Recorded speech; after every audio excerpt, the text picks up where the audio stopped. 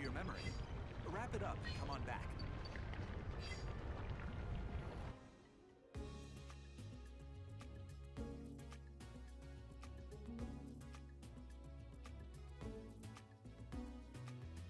How was it?